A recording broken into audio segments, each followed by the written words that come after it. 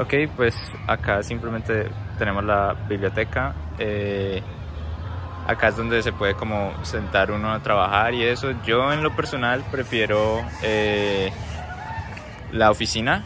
Es más tranquilo, es más callado, pues ahí estás más pendiente de las órdenes porque eh, simplemente subes al primer piso y ya estás en el restaurante. Son todas las órdenes. Cuando añadan Mónica's Kitchen a, a las operaciones, pues simplemente eh, eso va, va a hacer que te tengas que mover siempre lejitos, entonces pues podrías aprovechar en la biblioteca para estar en el intermedio de los dos.